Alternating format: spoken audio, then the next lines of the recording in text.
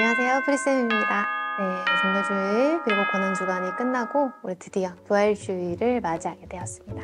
부활주일 교회 꽃꽂이 한번 같이 해볼 건데요. 그 절기 컬러가 흰색이다 보니까 하얀색 꽃들 많이 믹스해가지고 사용하실 것 같아요. 네, 오늘은 하얀색으로만 다 할 수는 없기 때문에 연 노랑빛이 도는 카네이션이나 아니면 어, 부드러운 색감이 들어간 또 봄을 느끼게 할 수 있는 그런 아주 연한 yellow 톤과 white 톤을 mix해서 부활절 꽃꽂이를 해볼 겁니다.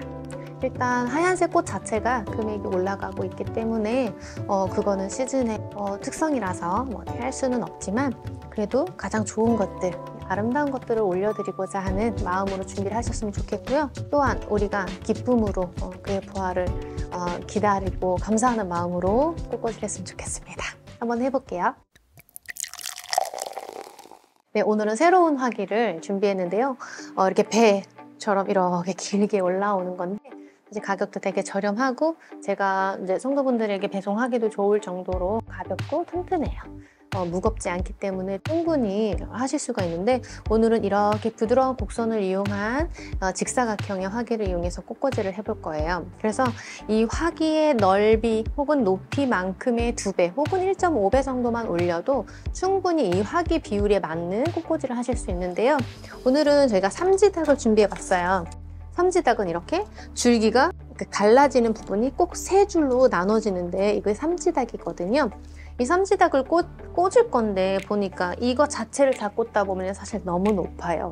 그냥 이 화기가 아니더라도 어, 교회가 큰 곳은 어, 이거 자체를 다 사용하시기는 하지만 저는 여러분한테 약간 그 샘플링을 해드리는 지금 중이기 때문에 이걸 너무 과하게 해드리지는 않지만 제가 늘 얘기하듯이 교회 사정에 맞춰서 친구가 높거나 아니면 낮게 하거나 그럴 때 키를 높여야 될 때 이 삼지닭의 길이를 좀 조절하시면 좋을 것 같아요. 삼지닭 같은 경우는 줄기가 꼭 세 개로 세 개로 나눠진다고 했잖아요. 그래서 내추럴하게 이렇게 둬도 좋지만 일부러라도 어, 길이가 다른 느낌으로 정돈하시는 것도 괜찮아요. 이렇게 좀 잘라주실 거예요. 너무 정돈이 안 돼 있으면 불편해요. 그리고 잘라줘도 괜찮은 아이들이 있다. 그러면 좀 치우셔도 되는데요. 일단 저는 끝 높이는 일부러 맞출 거예요. 네. 자, 근데 그러고 보니 저는 이거 자체를 다스릴 게 아니라서 이 화기의 넓이 그리고 높이 정도를 사용한 이 정도의 높이에서 좀 자르려고 해요. 1.5배까지 가거나 2배 이상으로 하기에는 조금 그 정도의 위, 그 사이즈는 아닌 것 같아서 이렇게 두껍게 갈라져 있는 부분 전지가위를 이용하셔서 잘라줄 거고요. 칼집을 내서 부러뜨려 주셔도 돼요. 너무 무리하지 마시고요. 그리고 반대쪽도 네, 일부러 또 세 개가 나눠져 있는 부분은 또 써도 되겠죠. 그래서 하나, 둘, 세 개가 또 됐고요. 또 이것도 조금 정리를 한번 해볼게요. 네, 전체적인 길이를 계속해서 맞춰주시면 돼요. 얘는 물 올림을 할 수 있는 애는 아니기 때문에 잘 사선으로 잘라야 되는 건 아니지만 floral foam에 꽂기 좋게 그냥 사선 처리를 한 겁니다. 물 올림 하는 거는 아니에요. 자, 얘를 왼쪽 혹은 오른쪽 끝으로만 둘 거예요. 이 화기는 옆으로 길쭉하게 floral foam이 두 장이 들어갈 수 있는 사이즈이기 때문에 한쪽 floral foam 있는 데에만 넣을 거예요.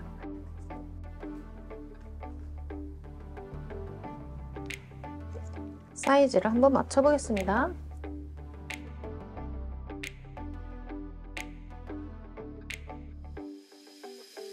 어, 공간을 조금 구분을 하셔가지고 꽂아주시면 좋고요.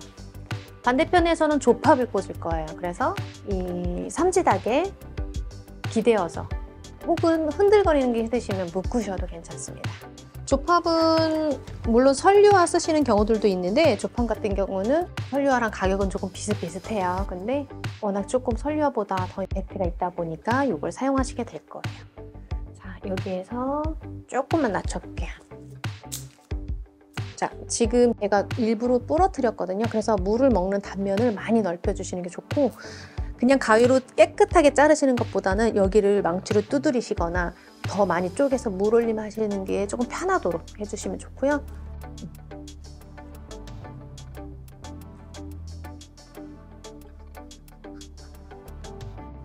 이쪽으로 들어갔습니다. 일부러 너무 많이 가리지는 않을 거예요. 왜냐면 여기 부분에 우리가 어, 이렇게 새를 조금 한번 묶을 거거든요. 묶으셔도 되고 걸으셔도 되고 상관없어요. 새 모양은 비둘기는 날아오르거나 아니면 앉거나 이렇게 편하게 하시면 되고요. 이렇게 묶어주셔도 괜찮죠? 이 비둘기 밑에는 어, 철사가 있어서 선생님들이 묶어주실 수가 있거나 아니면 꽃에다가 살짝 꽂으실 수도 있어요. 저는 그냥 살짝 묶었습니다. 조팝을 한 단을 다 쓰실 수도 있는데 제가 이거를 2분의 1단 정도만 사용하게 할 거예요. 근데 만약에 한 벌만 사용하신다 그러면은 한 벌을 구매를 하셔도 사실 한 단이 가기 때문에 다 사용하셔도 돼요. 화려하게 예쁘게.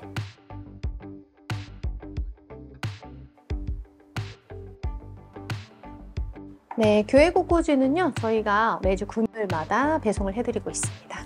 어, 택배로 가는 거라서 저희가 직접 집 앞까지 갖다 드리는 게 아니라 터미널에서 터미널로 이동을 하는 택배 서비스예요. 그러다 보니까 어, 직접 터미널에 가셔서 픽업을 하셔야 됩니다. 밑에 링크를 타고 들어가시면요 어, 구매하실 수 있는 그런 창이 열리실 텐데 거기에 우리가 그냥 사진만 보고 그냥 탁 계산해 버리시는 분들 결제해 버리시는 분들이 있는데 고속버스 터미널에서 이 택배를 보내줄 수 있는 터미널이 정해져 있어요. 대부분 가기는 하지만 혹시 우리 지역이 포함되지 않았나? 포함이 되어 있을까 라는 걸 꼭 밑에 어, 고속버스 터미널에 제로데이가 간다 하는 그 터미널을 확인하신 다음에 구매해 주시면 감사하겠습니다.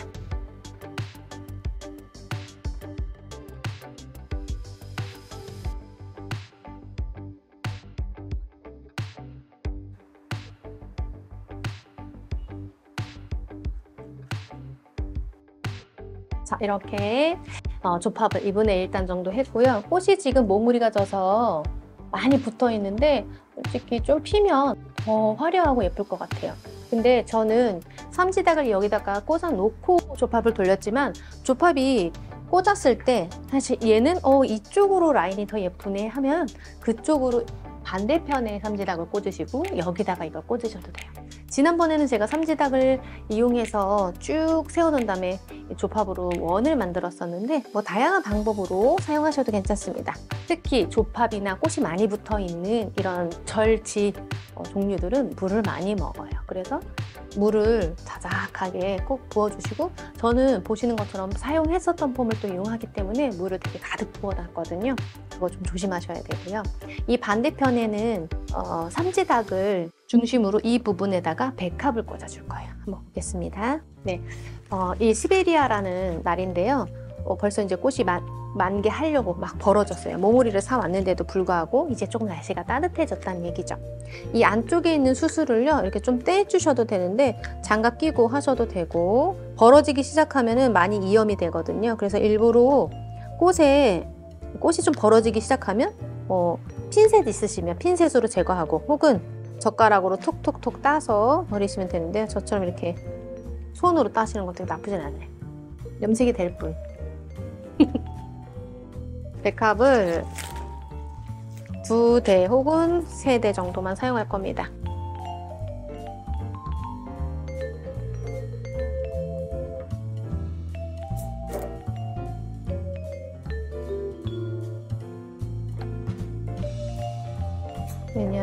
조금 비용을 아끼는 것도 아끼는 거지만 유두리 있게 좀 쓰자라는 의미예요.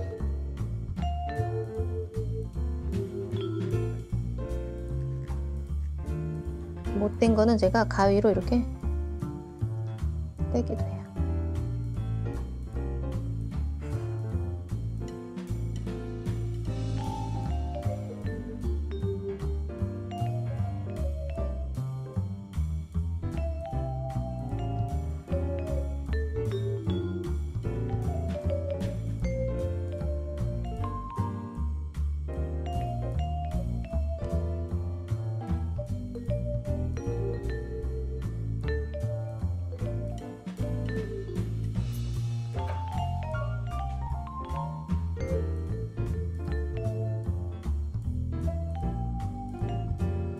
백합이 피기 시작하니까 더 예쁜 것 같아요. 네.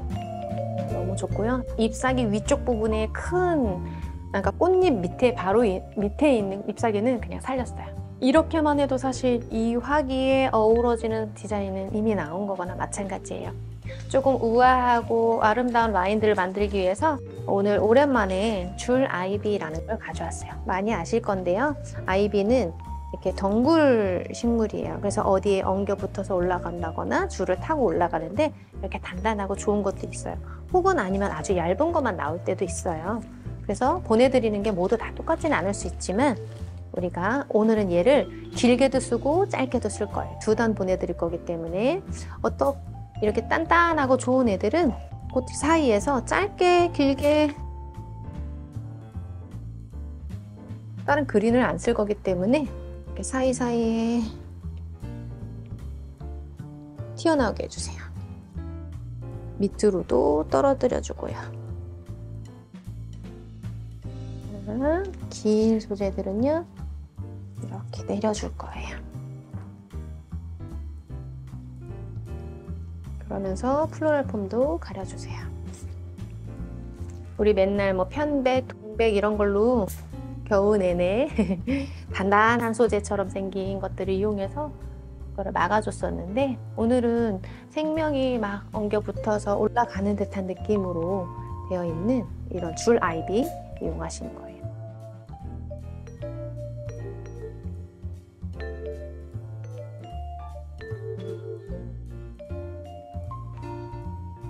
일부러 조파 반대편에서 조금 많이 힘을 주고 있습니다.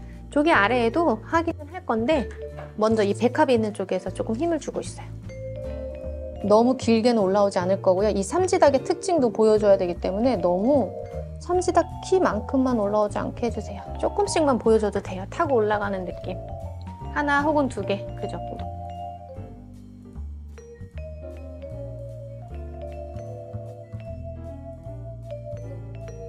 자, 여기 일부러 똑같은 사이즈의 줄 아이비가 아니라 조금 길이 다르게 해서 떨어지는 느낌 내니까 더 좋죠? 자연스럽고 인위적인 느낌 나지 않게끔 해주세요. 이런 소재들은 어, 이렇게 선반이 있는, 턱이 있는 곳에서 내리면 더 좋겠죠?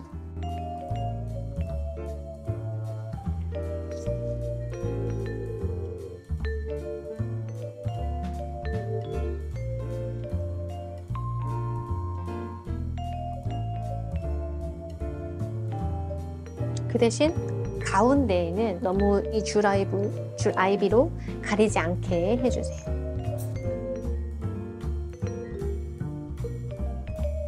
네, 이렇게 하면요. 거의 다 꽂은 거예요. 그쵸? 여기에서 우리가 노랑색, 아주 연한 노랑색 스타티스, 뭐, 혹은 뭐, 스프레이 카네이션, 혹은 노랑색 빛이 나는 스토크, 어, 소국, 이런 거 사용하시면 되는데요. 단이 좋기 때문에 오늘은 스타티스를 이용해서 2분의 1단만 사용할 거예요. 사실 이쪽 부분에다 더 덩어리진 얼굴들을 넣을 수도 있는데 좀 알뜰하게 한번 해보자고요. 그리고 스타티스는 잘라, 아, 그 말라도 또 똑같은 색을 내기 때문에 충분히 오래 보실 수 있어요. 그 우리 부활절 지나고 나서도 백합이 만개 했을 때 그것만 빼고 또 사용하실 수 있는 소재들이니까 어, 아깝지 않게 좋은 거 사실 수 있습니다.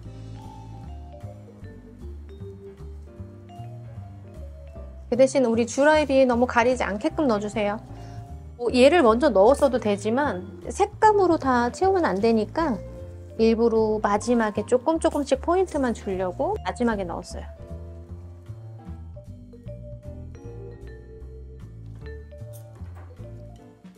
우리 부활절 꽃꽂이 어떻게 하나 항상 고민이 많으실 텐데 지난주 제가 한 2주 전부터 부활절 꽃꽂이 어떻게 하실 거냐고 전화를 받고 있습니다. 그런데 우리 지난주에 어, 영상으로 보셨겠지만 성장 꽃꽂이 디자인 수업이 5기 수업이 수료가 되었어요. 저희가 4월 8일 날부터 성장 꽃꽂이 6기를 시작할 건데 시작하자마자 사실은 그 다음 주에 바로 부활주일이에요. 그래서 우리 육기 선생님들은 오시자마자 부활절 꽃꽂이를 저랑 같이 함께 하실 수 있습니다. 걱정하지 않고 오셔도 돼요.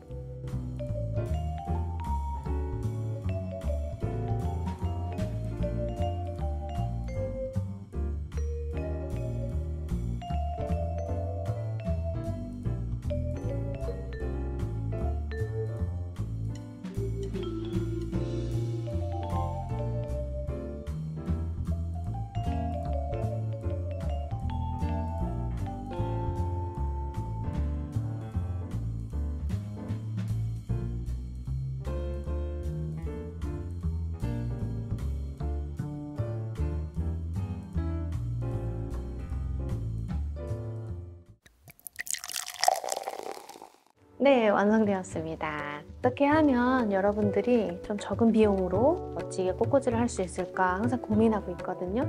저희 교회도 마찬가지고 여러분의 교회도 한 주 꽃을 볼 건데 혹은 절기만 꽃을 볼 건데 라고 생각할 수도 있지만 어, 우리 선생님들이 이 꽃을 통해서 성도분들의 마음을 열어주시고 그 절기를 준비하는 영혼의 마음을 또 준비하는 그런 도구의 역할을 잘 감당하셨으면 좋겠습니다. 물론 저희가 꽃을 판매하고 있지만 더 좋은 꽃 보내드리려고 항상 노력하고 있거든요. 수업 오셔서 직접 꽃을 꽂아보신 우리 선생님들은 다 아실 거예요. 선생님, 저 시장 가서 이렇게 좋은 꽃 못, 제가 사면은 이런 좋은 꽃이 안 오는데요? 못 골랐는데요? 하시는 분들도 있지만 그래도 우리가 수업을 통해서 배우는 것들이 있고 또 직접 보내드려서 또 얻으실 수 있는 또 은혜들이 있을 것 같습니다. 멋진 부활절, 부활절 꽃꽂이 보시고 또 힘내시고요. 여러분 더 멋지게 하실 수 있어요. 항상 꽃과 같은 여러분들 응원하겠습니다. 감사합니다.